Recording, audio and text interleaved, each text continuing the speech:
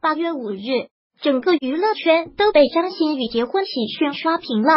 三十一岁的她分享婚纱照以及鸽子蛋和结婚证，宣布嫁给爱情。我是个任性的人，这一路跌跌撞撞的走来，发现人生要学习的地方还有很多。我曾经想过，如果我嫁人了，一定不是因为年纪到了，更不是因为彼此条件适合，只有一个原因：嫁给他，嫁给爱情。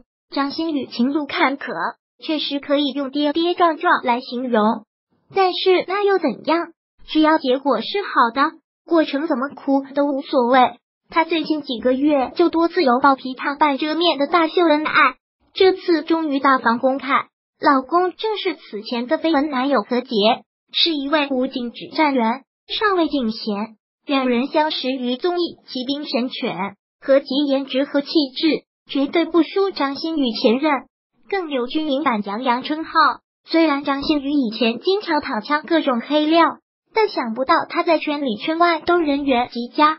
宣布婚讯后，陆续收到沈梦辰、贾静雯、何洁、韩雪等众多圈内好友以及粉丝们的祝福。截至目前，点赞数已经一百七十多万。随之而来的也有各种猜测。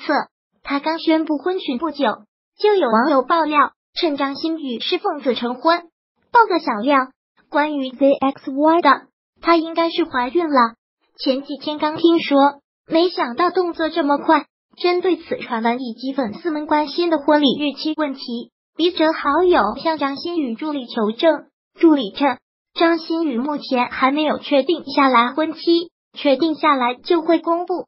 助理刚听到奉子成婚传闻时表示很懵，随后又感觉很可笑。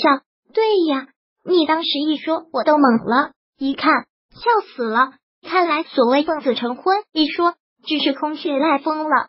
不过，这或许也算是吃瓜群众为张馨予送上的另类祝福，祝张馨予和杰永远相亲相爱，早生贵子。